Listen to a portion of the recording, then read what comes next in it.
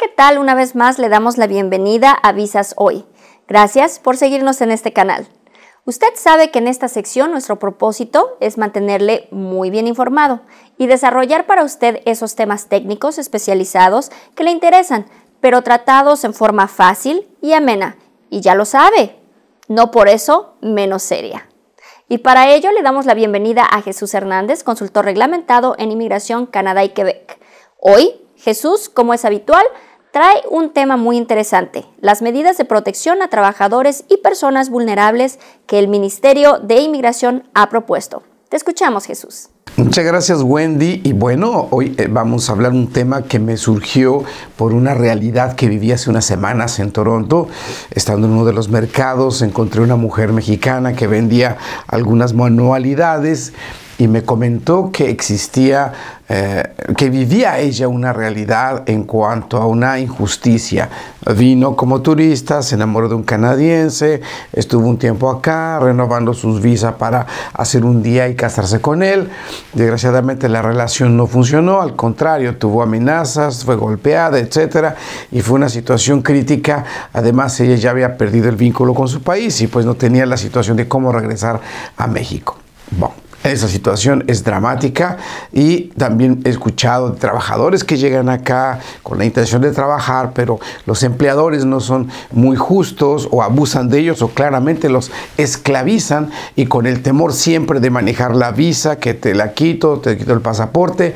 Bien, por eso es que quiero aclarar hoy un aspecto que desde el 31 de mayo se anunció que las personas vulnerables, claramente, sean los trabajadores, o sea, personas eh, que están en una cuestión de relación amorosa pueden tener unos permisos especiales. Es decir, por ejemplo, un trabajador que veamos que el empleador hace maltratos y que lo amenaza con perder el empleo, el gobierno dijo, todos esos trabajadores que a partir del 4 de junio del 2019 se les dará un permiso de trabajo abierto, es decir, para que mantengan su estatuto y puedan continuar y busquen otro trabajador mientras. Saben que un permiso de trabajo cerrado solo trabajan con el empleador, pero eso manipula la situación de los que tienen fuerza como los empleadores o las personas que son canadienses sobre las personas vulnerables que desean tener un trabajo o una relación familiar, pero al final de la historia se torna una situación, se vuelve una situación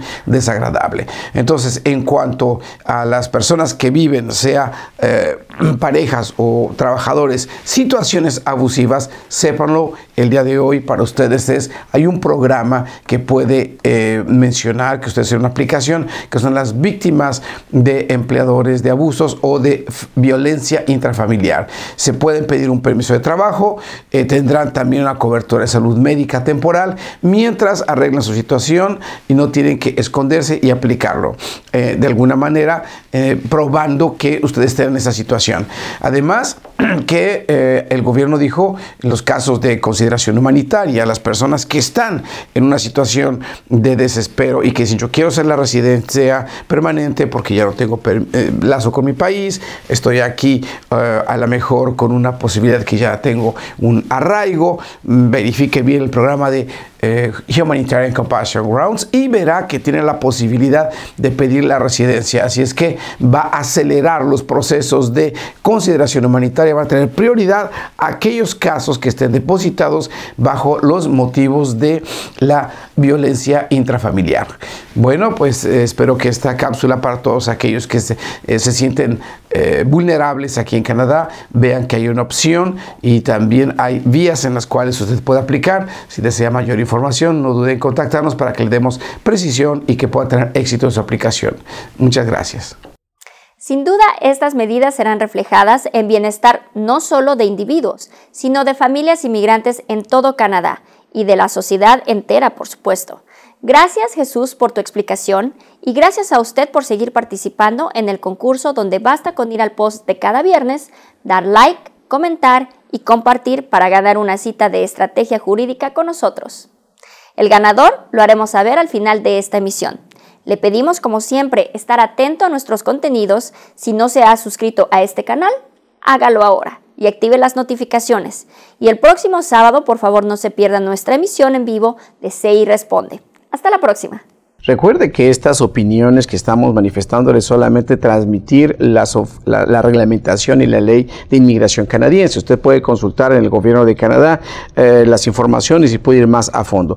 Estas eh, informaciones no son a título de un consejo jurídico, sino solamente a título de información. Si usted quisiera un consejo jurídico y desearía que trabajáramos en su expediente para hacer de acuerdo a las reglas canadienses la mejor estrategia, no dude en consultarnos.